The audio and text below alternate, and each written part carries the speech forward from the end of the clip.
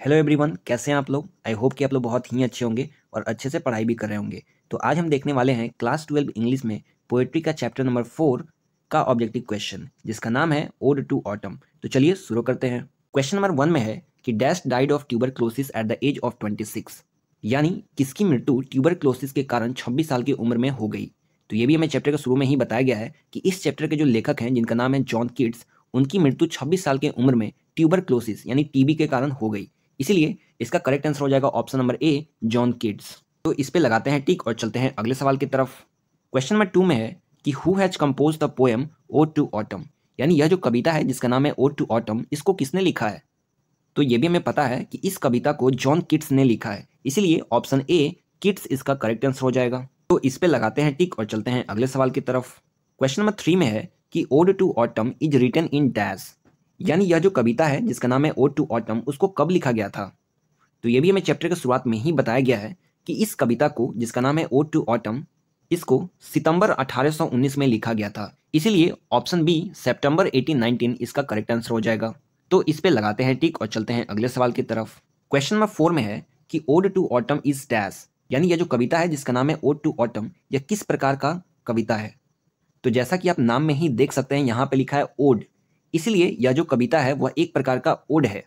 इसलिए हम कह सकते हैं कि ऑप्शन सी एन ओड इसका करेक्ट आंसर हो जाएगा। तो इस पे लगाते हैं टिक और चलते हैं अगले सवाल की तरफ़। अगर आपको ये पता करना है कि कौन सा कविता किस प्रकार का है, क्या वह एक लिरिक है या ओड है, या फिर सोनेट है या फिर बैलेड है तो इसके लिए हमने एक वीडियो को ऑलरेडी ही बना रखा है। उसका लिंक आपको डिस्क्रिप्शन में मिल जाएगा, वहाँ से आप जा करके उस, वहाँ जा करके आप उस वीडियो को देख सकते हैं और याद कर सकते हैं कि कौन सा कविता किस प्रकार का है। तो चलते हैं अगले सवाल की तरफ़। क्वेश्चन नंबर फाइव में है कि in ode to autumn Keats deals with dash in detail यानी यह जो चैप्टर है जिसका नाम है ओड टू ऑटम इसके जो लेखक हैं जिनका नाम है जॉन किड्स वह किस चीज़ के बारे में डिटेल में बताते हैं?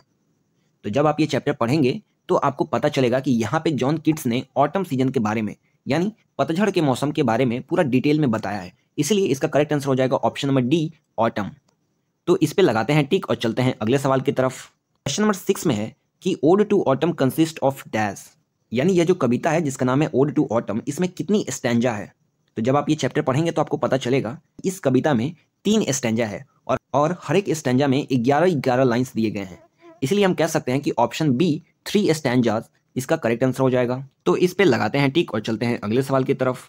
क्वेश्चन नंबर सेवन में पूछा गया है कि the theme of autumn is dash यानी जो पतझड़ का मौसम होता है, उसका मेन मकसद क्या होता है? तो जब आप ये चैप्टर पढ़ेंगे तो चैप्टर के शुरुआत में ही बताया गया है कि ऑटम का जो थीम है, यानी उसका मकसद है, वह है फुलफिलमेंट और मैच्योरिटी यानी पेड़ से पुराने पत्ते झड़ जाते हैं और नए नए पत्ते और उस पर फूल आ जाती है और पेड़ जो है वो पूरे तरीके से फल से लद जाता है। इसलिए हम कह सकते हैं कि इसका करेक्ट आंसर हो जाएगा ऑप्शन नंबर सी फुलफिलमेंट या मैच्योरिटी तो इस पे लगाते हैं टिक और चलते हैं अगले सवाल की तरफ़। क्वेश्चन नंबर एट में है कि किड्स वॉज़ डैश पोएट तो ये भी हमें चैप्टर के इंट्रोडक्शन में ही बताया गया है कि जॉन किड्स जो हैं, वह एक प्रकार के रोमांटिक पोएट थे इसीलिए ऑप्शन ए और रोमांटिक पोएट इसका करेक्ट आंसर हो जाएगा।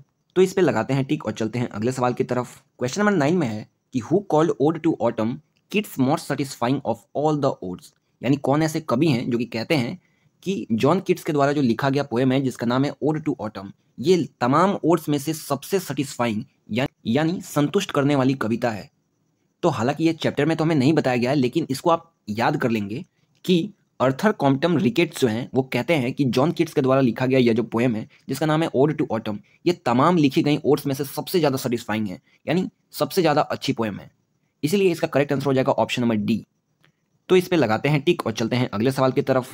क्वेश्चन नंबर टेन में है कि each stanza of ode to autumn consist dash तो ये हम आपको पहले ही बता चुके हैं कि ओड टू ऑटम में तीन स्टेंजा है और हर एक स्टेंजा में ग्यारह ग्यारह लाइन्स दे रखे हैं।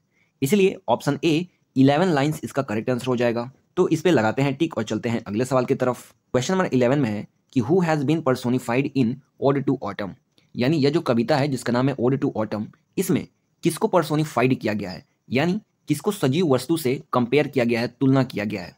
तो हम आपको बता दें कि इस चैप्टर में जिसका नाम है ओड टू ऑटम इसमें ऑटम सीज़न को, यानी पतझड़ के मौसम को पर्सोनिफाइड किया गया है, यानी उसकी तुलना एक सजीव वस्तु से किया गया है और उसको जीता जागता और बोलता हुआ दिखाया गया है। इसलिए ऑप्शन बी ऑटम इसका करेक्ट आंसर हो जाएगा। तो इस पर लगाते हैं टिक और चलते हैं अगले सवाल की तरफ़। अब देखिए, यहाँ पे जो वर्ड यूज़ हुआ है पर्सोनिफाइड ये पर्सोनिफिकेशन से निकल के आया है, जिसका मतलब होता है कि किसी भी निजी वस्तु को सजीव वस्तु की तरह दिखाना, जैसे पेड़ का बोलना, पेड़ का चलना, ये एक प्रकार का पर्सोनिफिकेशन है, जहाँ पे पेड़ को सजीव वस्तु से कंपेयर किया जाता है, सजीव वस्तु की तरह दिखाया जाता है। तो अब चलते हैं अगले सवाल की तरफ़। क्वेश्चन नंबर ट्वेल्व में है कि John Keats has written the poem dash यानी जॉन किट्स ने कौन सी कविता को लिखा है? तो ये भी हमें चैप्टर के शुरुआत में ही बताया गया है कि जॉन किट्स ने पोएम नंबर फोर जिसका नाम है ओड टू ऑटम उसको लिखा है। इसलिए ऑप्शन बी इसका करेक्ट आंसर हो जाएगा। तो इस पर लगाते हैं टिक और चलते हैं अगले सवाल की तरफ़। क्वेश्चन नंबर थर्टीन में है कि the bend with apples the most cottage tree each from dash यानी यह जो लाइन है जहाँ पर ऑटम सीज़न यानी पतझड़ का मौसम जो है, वो सूर्य से कहता है कि चलो, इस सेब के पेड़ को, जिस पे बहुत सारी मॉसेस लगी हुई हैं, यानी काही लगी हुई हैं इनको हम लोग फल से इतना भर देते हैं कि यह झुक जाए। यह जो लाइन है, वो किस चैप्टर से लिया गया है? तो जैसा कि आप स्क्रीन पे देख सकते हैं कि यह जो लाइन है, वो पोएम नंबर फोर जिसका नाम है ओड टू ऑटम उससे लिया गया है। इसलिए ऑप्शन बी इसका करेक्ट आंसर हो जाएगा। तो इस पर लगाते हैं टिक और चलते हैं अगले सवाल की तरफ़। क्वेश्चन नंबर फोर्टीन में है कि conspiring with him how to load and bless is taken from dash यानी यह जो लाइन है, जहाँ पे ऑटम सीज़न यानी पतझड़ का मौसम जो है वह सूर्य से कॉन्स्पायरिंग कर रहा है। यानी साजिश कर रहा है कि चलो इन पेड़ों को हम लोग फल और फूल से पूरी तरीके से भर देते हैं लोड कर देते हैं। ये जो लाइन है, वो किस चैप्टर से लिया गया है? तो आप स्क्रीन पे देख सकते हैं कि ये जो लाइन है, वो पोएम नंबर फोर जिसका नाम है ओड टू ऑटम उससे लिया गया है। इसलिए option A ode to autumn इसका करेक्ट आंसर हो जाएगा। तो इस पे लगाते हैं टिक और चलते हैं अगले सवाल की तरफ़। क्वेश्चन नंबर फिफ्टीन में है कि dash was a great lover of nature यानी कौन ऐसे कवि हैं जिनको नेचर से, यानी प्रकृति से बहुत ही ज़्यादा लगाव था? तो ये भी हमें चैप्टर के शुरुआत में ही बताया गया कि जॉन किड्स को नेचर से बहुत ही ज़्यादा लगाव था। इसलिए उन्होंने ऑटम सीज़न के ऊपर, यानी पतझड़ के ऊपर एक पूरी की पूरी कविता ही लिख दी। इसीलिए ऑप्शन ए जॉन किड्स इसका करेक्ट आंसर हो जाएगा।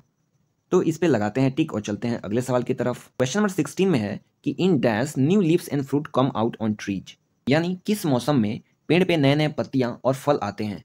तो ये भी हमें पता है कि ऑटम सीज़न में, यानी पतझड़ के मौसम में, जो पुराने पत्ते होते हैं, वो पेड़ से टूट करके हट जाते हैं और पेड़ पे नए नए पत्ते आने शुरू हो जाते हैं और पेड़ जो है वो फल और फूल से भरना शुरू हो जाता है। इसलिए हम कह सकते हैं, इसलिए हम कह सकते हैं कि ऑप्शन बी ऑटम इसका करेक्ट आंसर हो जाएगा। तो इस पे लगाते हैं टिक और चलते हैं अगले सवाल की तरफ़। क्वेश्चन नंबर सेवेंटीन में है कि and gathering swallows twitter in the skies is taken from dash यानी ये जो लाइन है, जहाँ पे लिखा गया कि an gathering swallows twitter in the skies ये लाइन किस चैप्टर से लिया गया है? तो जैसा कि आप स्क्रीन पे देख सकते हैं कि ये जो लाइन है, वो पोएम नंबर फोर जिसका नाम है ओड टू ऑटम उससे लिया गया है। इसलिए ऑप्शन सी इसका करेक्ट आंसर हो जाएगा। तो इस पे लगाते हैं टिक और चलते हैं अगले सवाल की तरफ़। क्वेश्चन नंबर एटीन में है कि season of mist and mellow fruitfulness is written by dash यानी ये जो लाइन है, जहाँ पे ऑटम को सीज़न ऑफ़ मिस्ट कहा गया यानी धुंध, यानी धुएँ का मौसम कहा गया है एंड मेलो फ्रूटफुलनेस यानी एक ऐसा मौसम कहा गया है जिसमें पेड़ों पे बहुत ही मीठे मीठे और मधुर मधुर फल और फूल खिल जाते हैं। ये जो लाइन है वो किस लेखक के द्वारा लिखा गया है? तो हमें ये पता है कि ये जो लाइन है वो पोएम नंबर फोर जिसका नाम है ओड टू ऑटम से लिया गया है और ये जो चैप्टर है वो जॉन किट्स के द्वारा लिखा गया है। इसलिए ऑप्शन डी जॉन किट्स इसका करेक्ट आंसर हो जाएगा। तो इस पे लगाते हैं टिक और चलते हैं अगले सवाल की तरफ़। क्वेश्चन नंबर नाइनटीन में है कि thou watchest the last oozings hours by hours each from dash यानी यह जो लाइन है जिसमें लिखा गया कि thou watches the last oozings hours by hours ये किस चैप्टर से लिया गया है? जैसा कि आप अपने स्क्रीन पे देख सकते हैं कि यह जो लाइन है, वो पोएम नंबर फोर जिसका नाम है ओड टू ऑटम से लिया गया है। इसीलिए इसका करेक्ट आंसर हो जाएगा option number C ode to autumn तो इस पे लगाते हैं टिक और चलते हैं अगले सवाल की तरफ़। क्वेश्चन नंबर ट्वेंटी में है कि who sits carelessly on the granary floor in ode to autumn यह जो पोएम है, जिसका नाम है ओड टू ऑटम इसमें अनाजों से भरी हुई ज़मीन पे कौन बैठता है? तो ये भी हमें चैप्टर में बताया गया है कि जो महिलाएँ हैं, वो अनाजों से भरी हुई ज़मीन पे केयरलेसली यानी निफिक्र होकर यानी चिंता रहित होकर के बैठती हैं। इसलिए इसका करेक्ट आंसर हो जाएगा ऑप्शन नंबर डी वुमेन तो इस पर लगाते हैं टिक तो यहाँ पे होता है आपका चैप्टर समाप्त। आपने यहाँ तक वीडियो को देखा, इसके लिए आपका बहुत बहुत धन्यवाद। अब आपसे मिलते हैं हम अगले चैप्टर में। तब तक के लिए अगर आपको किसी भी प्रकार का डाउट है तो आप हमें कमेंट में लिख कर ज़रूर पूछ सकते हैं। हम आपके डाउट को सॉल्व करने की पूरी कोशिश करेंगे। Thank you very much